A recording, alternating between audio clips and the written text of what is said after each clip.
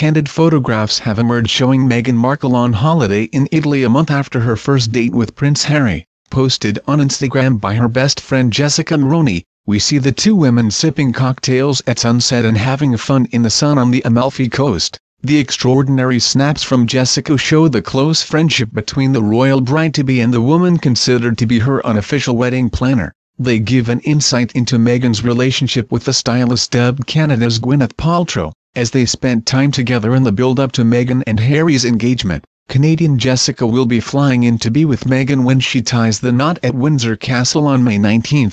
It is a friendship which has gone from strength to strength since Meghan, then a young ingenue, moved to Toronto in 2011 to play the role of Rachel Zane in the TV show Suits. By then Jessica 37, was married to Ben Mulroney, son of former Canadian Prime Minister Brian Mulroney and one of Canada's top television presenters, and mingled with the cream of Toronto society. She introduced Meghan 36, to her social circle, which included Canada's First Lady Sophie Gregoire Trudeau, the wife of Prime Minister Justin Trudeau, who has been invaluable in offering Meghan advice on how to deal with fame. They reportedly went on nights out to the rooftop bar at private members club Soho House, run by mutual friend Marcus Anderson. Since then they have been to watch a Toronto Blue Jays baseball match together, holidayed in Italy and Meghan has taught Jessica's daughter to dance. Jessica helped Meghan with her wardrobe and introduced her to the right people, one of their circle said. Meghan adores Jessica,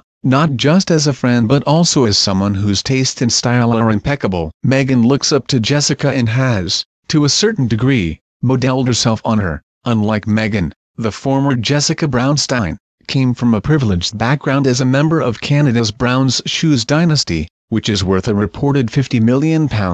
She attended an exclusive all-girls school, before going to McGill University where she studied industrial relations and economics. She then launched her own business importing luxury lingerie, after a successful career as a stylist, with her own TV slot, and wedding planner. She was propelled to the A-list in 2008 after marrying the eldest son of Brian Mulroney. The couple has three children, twins Brian and John, now seven, and daughter Ivy now four who are rumored to be page boys and flower girl at the royal wedding. They sold the first photographs of their sons to Hello magazine. Jessica and Meghan bonded over their shared passion for yoga, Pilates, dogs and philanthropy. They are so close that she has been dubbed Meghan's Girl Friday. Meghan describes herself as Auntie Meg to her three children. Jessica first came to public attention in November 2015 when she styled Sophie for Justin Trudeau's inauguration. She wore a cream wrap coat by Canadian designer Sentaler, a favorite of Meghan.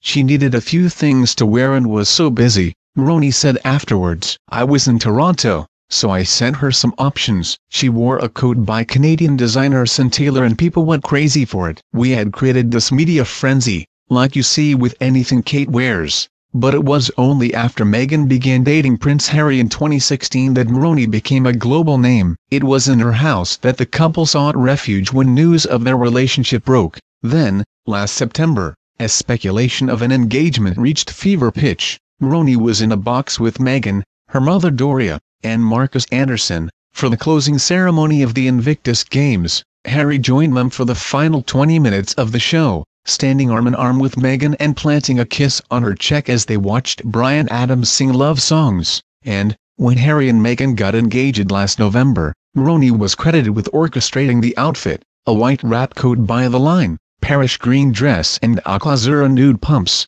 She is also believed to be the brains behind Meghan's outfits for many of her official engagements and is instrumental in helping her choose her wedding dress. The couple had a dress rehearsal on Suits when Jessica helped her choose the Anne Barge Versailles dress from Jessica's Kleinfeld Canada bridal boutique when her Suits character Rachel Zane was supposed to marry Mike Ross, only for him to leave her at the altar. She flew to London in January to attend the first fitting and was in London in April when Meghan had her final fitting. Mulroney jetted into Heathrow for a mini hen party and was given a sneak preview of the dress and the wedding venue. She has been so successful in helping Meghan create her effortless chic style that Vogue, editor Edward Enninful believes she could eclipse the Duchess of Cambridge.